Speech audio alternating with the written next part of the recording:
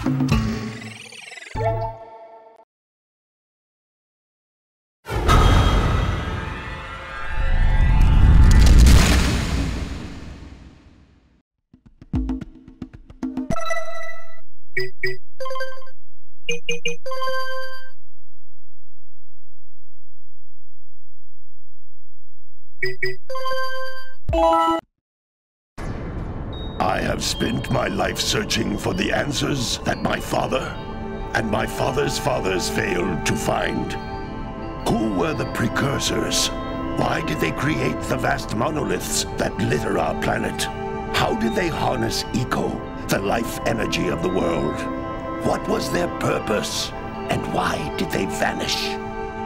I have asked the plants, but they do not remember. The plants have asked the rocks, but the rocks do not recall. Even the rocks do not recall. Every bone in my body tells me that the answers rest on the shoulders of a young boy.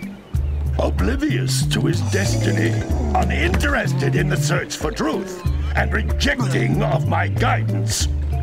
And why would he want to listen to old Samos the Sage anyway? I'm only the master of Green Eco, one of the wisest men on the planet. so it seems the answer begins not with careful research or sensible thinking.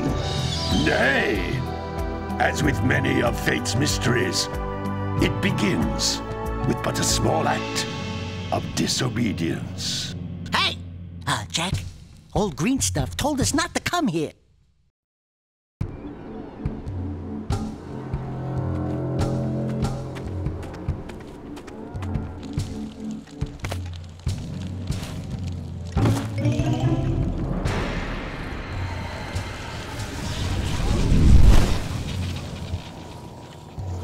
Continue your search for artifacts in Nico.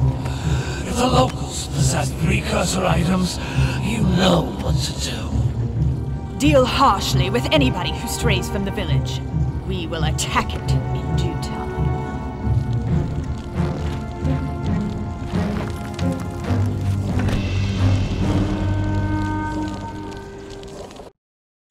What are we doing here anyway, Jak?